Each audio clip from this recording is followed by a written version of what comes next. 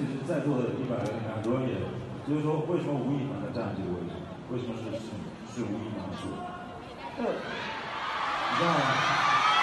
我觉得没关系，但我觉得没关系，你们这么想没关系。我的意思很简单，就是这个文化在国内刚起来没多久，想要好的话，如果不好好做的话，如果大家不团结去做的话，根本就没有这个希望。所以我不管十年还是十五年，我自己会去做，不管家人做与不做，不管家人怎么想我。